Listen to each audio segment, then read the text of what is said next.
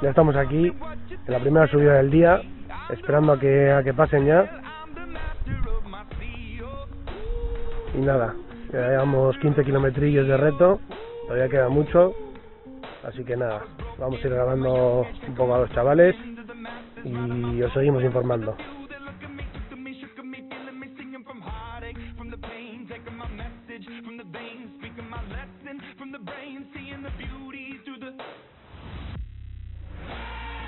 Segunda subida del día. Aldaya está por aquí.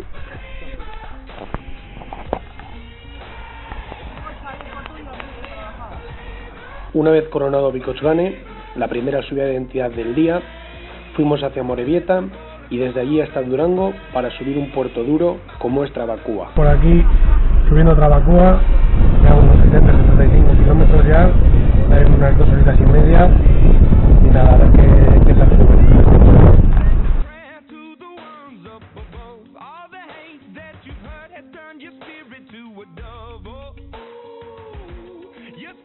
a ver qué, qué tal sube.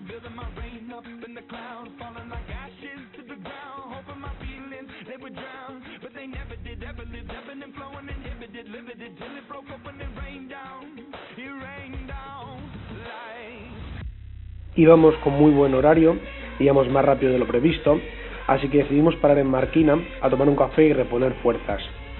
Después de eso, seguimos dirección Ondarroa y dirección Lequeitio por las 100 curvas. Aún todo eran risas y buen ambiente, hasta que de repente decidieron empezar a tirar más fuerte.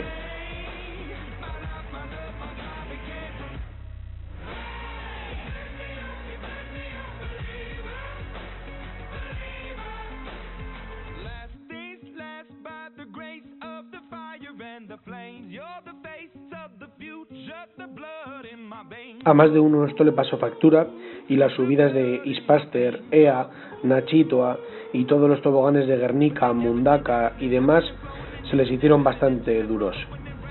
Eso sí, al llegar a Bermeo les esperaba una sorpresa. Les esperaban dos tortillas que la verdad es que las agradecieron bastante.